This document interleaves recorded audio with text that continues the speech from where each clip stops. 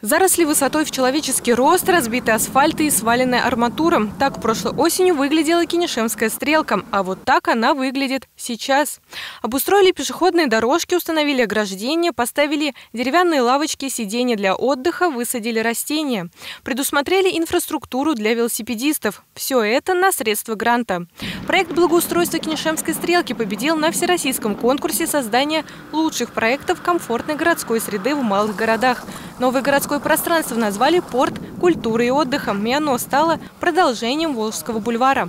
Довольны ли преображением стрелки кинешемцы, приехал узнать губернатор. Мы так и планировали, что мы начали с Волжского бульвара. Да, да, да. И это продолжение Волжского бульвара просто шикарно. Двигаемся. Да, вот это пергола, все это вот как-то вот единство, вот в едином комплексе воспринимается порту культуры и отдыха еще установят два павильона и обустроят к ним подходы. Кроме того, новое пространство соединят с улицей Плеской. После проектирования выделили этап, который доходит до поверхней части и э, приняли решение временно связать пешеходной связью реализованную набережную с выходом на улицу. Это действительно важно, чтобы набережная не была тупиковой.